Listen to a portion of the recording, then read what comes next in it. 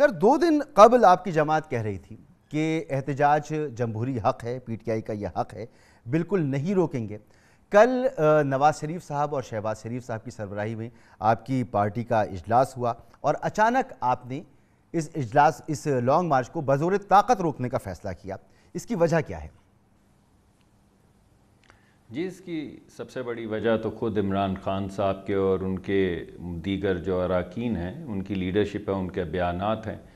आपने कई चैनल्स के ऊपर देखे होंगे वो बयान जिसमें वो कह रहे हैं कि ये खूनी मार्च होगी। ये पुरम मार्च नहीं होगी, खूनी मार्च होगी।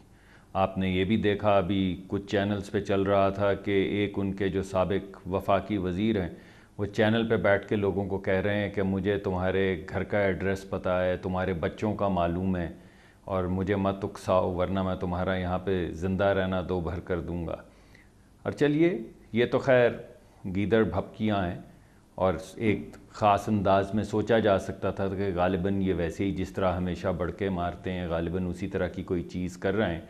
मगर फिर उसके बाद इंटेलिजेंस की रिपोर्ट आई कि वो ना सिर्फ़ असला इकट्ठा कर रहे हैं बल्कि उनका भरपूर ये एक प्रोग्राम है कि कोई खून खराबा किया जाए।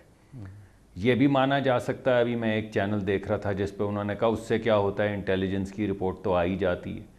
तो फिर आपने देखा कि एमपीओ के तहत मेंटेनेंस ऑफ़ पब्लिक ऑर्डर के तहत, जो ख़बरें मिल रही थी इंटेलिजेंस से और पुलिस से, जब जाके पता करने की कोशिश की डोर नॉकिंग की इस वजह से कि उन लोगों से बात की जाए तो आपने देखा कि एक पुलिस अफसर को मॉडल टाउन लाहौर में गोली मार के हलाक कर दिया गया। तो इसका मतलब ये हुआ कि इंटेलिजेंस जो कह रही थी कि असला है और खून खराबा करने का मूड है, वो भी गलत थी। इमरान खान साहब और उनके वज़रा जो सबक वज़रा जो कह रहे थे कि ये खूनी मार्च होगी, वो भी एक मज़ाक ठहरा। और वो शख्स जिसको शहीद कर दिया गया, क्या उसकी ज़िंदगी भी एक मज़ाक थी? ये हर चीज़ मज़ाक है।